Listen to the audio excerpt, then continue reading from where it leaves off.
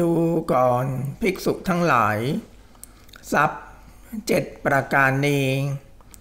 เจ็ดประการเป็นไนคือ ทรัพย์คือศรัทธา ศีล หิริ โอตตปะ สุตตะ จาคะ ปัญญา ดูก่อนภิกษุทั้งหลาย ทรัพย์ คือศรัทธาเป็นไนดูก่อนภิกษุทั้งหลาย อริยสาวกในธรรมวินัยนี้ เป็นผู้มีศรัทธา คือเชื่อพระปัญญาตรัสรู้ของพระตถาคตว่า แม้เพราะเหตุนี้เหตุนี้ พระผู้มีพระภาคพระองค์นั้น เป็นพระอรหันต์ตรัสรู้เองโดยชอบ ถึงพร้อมด้วยวิชาและจารณะ เสด็จไปดีแล้วส่งรู้แจ้งโลก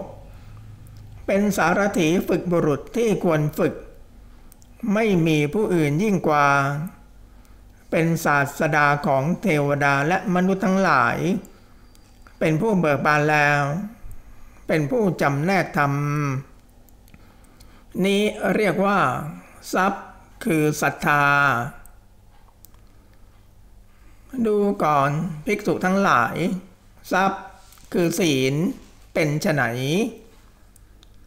ดูก่อนภิกษุทั้งหลาย อริยสาวกในธรรมวินัยนี้เป็นผู้เว้นจากการฆ่าสัตว์ เว้นจากการลักทรัพย์ เว้นจากการประพฤติผิดในกาม เว้นจากการพูดเท็จ เว้นจากการดื่มน้ำเมาคือสุราและเมรัย อันเป็นที่ตั้งแห่งความประมาท นี้เรียกว่า ทรัพย์คือศีล ดูก่อนภิกษุทั้งหลาย ทรัพย์คือหิริ เป็นจะไหน ดูก่อนภิกษุทั้งหลาย อริยสาวกในธรรมวินัยนี้ เป็นผู้มีความละอาย คือ ละอายต่อกายทุจริต วจีทุจริต มโนทุจริต ละอายต่อการถูกต้องอกุศลธรรมอัลลามก นี้เรียกว่า ทรัพย์คือหิริ ดูก่อนภิกษุทั้งหลาย ทรัพย์คือโอตตะปะเป็นไน ดูก่อนภิกษุทั้งหลาย อริยสาวกในธรรมวินัยนี้เป็นผู้มีความสะดุ้งกลัว คือ สะดุ้งกลัว ต่อกายทุจริต วจีทุจริต มโนทุจริต สะดุ้งกลัว ต่อการถูกต้องอกุศลธรรมอัลลามก นี้เรียกว่า ทรัพย์ คือโอตตปะ ดูก่อนภิกษุทั้งหลาย ทรัพย์คือสุตตะเป็นจะไหน ดูก่อนภิกษุทั้งหลาย อริยสาวกในธรรมวินัยนี้เป็นพระหูสูตร ทรงสุตตะ สั่งสมสุตตะ เป็นผู้ได้สดับมามากทรงไวคล่องปากขึ้นใจ แทงตลอดด้วยดีด้วยทิฏฐิ ซึ่งทำทั้งหลายอันงามในเบื้องต้น งามในท่ามกลาง งามในที่สุด ประกาศพรหมจรรย์พร้อมทั้งอัฏฐะทั้งพยัญชนะ บริสุทธิ์บริบูรณ์สิ้นเชิง นี้เรียกว่า ทรัพย์คือสุตตะ ดูก่อนภิกษุทั้งหลาย ทรัพย์คือจาคะ เป็นไนดูก่อนภิกษุทั้งหลาย อริยสาวกในธรรมวินัยนี้ เป็นผู้มีใจอันปราศจากมนทิน คือความตรณี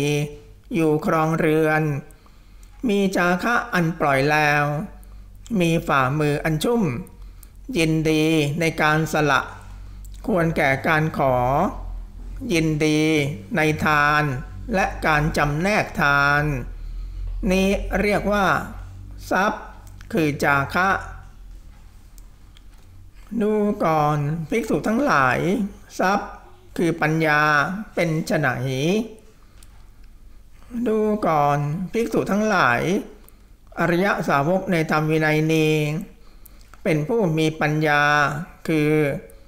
ประกอบด้วยปัญญาที่กำหนดความเกิดและความดับ เป็นอริยะจำแรกกิเลส ให้ถึงความสิ้นทุกข์โดยชอบ นี้เรียกว่า ทรัพย์คือปัญญา ดูก่อนภิกษุทั้งหลาย ทรัพย์เจ็ดประการนี้แล ทรัพย์คือศรัทธา ศีล หิริ โอตตปะ สุตตะ จาคะ และปัญญาเป็นที่เจ็ดทรัพย์เหล่านี้มีแก่ผู้ใด เป็นหญิงหรือชายก็ตาม บัณฑิตเรียกผู้นั้นว่า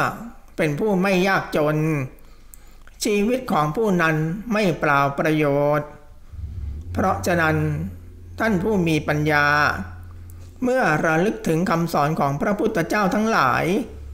พึงประกอบศรัทธา ศีล ความเลื่อมใส และการเห็นธรรม